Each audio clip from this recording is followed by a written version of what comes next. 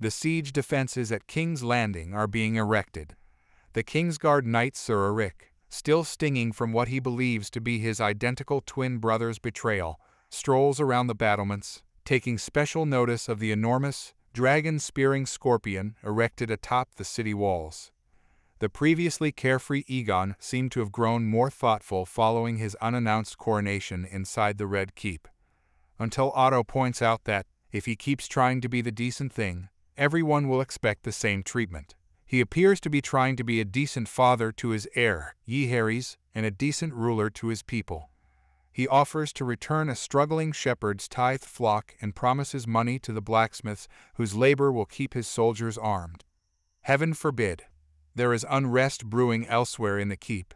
Under the wrath of her icy cold adviser, Lord Larys Strong, Alicent makes a feeble attempt to break free from an affair with the moody, royal fancier Sir Criston Cole being the most vocal supporter of moderation among the Green contingent. Alicent continues to hope that a full-scale conflict could be averted. The last thing she wants is to make a mistake, like getting caught in bed with the Kingsguard captain. However, as the people of Westeros have frequently discovered, both the royal heart and the royal loins have their own desires. The voice of restraint on the black side is Queen Rhaenyra, whose emotional connection to her erstwhile ally turned fierce adversary is emphasized in a beautiful sequence that alternates between the burning of Lucerys' corpse and Alicent setting lights in remembrance of the dead in the sept at King's Landing.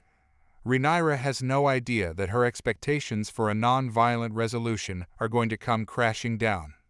Daemon embarks on a journey of revenge after making the infuriating statement, I want Aemond Targaryen based on details from his previous lover and the former White Worm, Mysaria. He finds two plausible criminals, a gold cloak and a rat catcher, and gives them money and orders to kill Aemond by any means necessary. And if they are unable to locate him, that question, however, remains unaddressed. The next step is to assess how badly this plan will fail. It was almost painfully nervous to watch the assassins stealthily move through opulent royal chamber after elegant chamber, wondering who they would meet first and how brutal the confrontation would be. Looking back, it was clear Helaena, the child's mother, and Aegon's love for tiny Jaehaerys had been clearly indicated earlier in the episode, as had both of their shocking mental and emotional states. The option that the murderers presented to Sophie seemed excessively drastic we had previously seen a kid murdered. However, the ramifications are crystal clear. This spells war.